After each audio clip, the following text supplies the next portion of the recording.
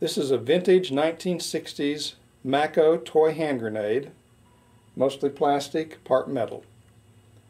I'm going to show you how this works and uh, why we thought they were so much fun when we were kids.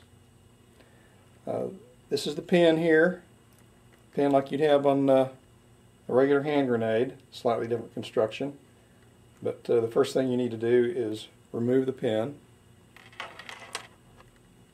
Then you uh, open up the mechanism for inserting the cap by pushing down on the lever here and then pushing up.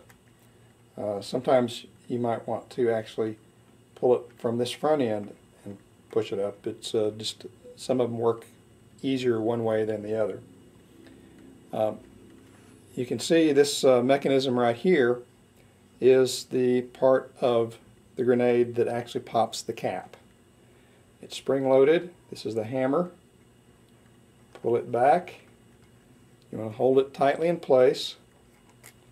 Then you take what I use, vintage 1960s uh, Mattel uh, caps. Uh, these caps, made by Mattel, are uh, known as Greenie Stickum caps. Place the cap on the mechanism where the hammer is it's in the path of the uh, hammer so that when the hammer trips it comes down and smashes the cap.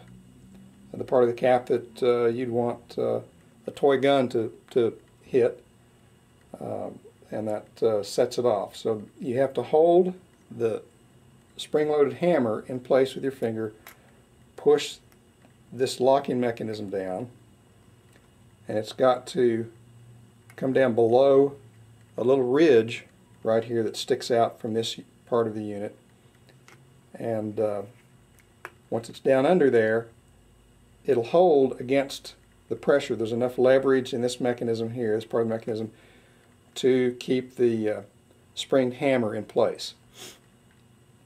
Uh, if you want to, you can put the, the pin back in. And so now, we're going to see how this works. I'm going to press this lever and let go, and it should pop. Oh, it's ready to go.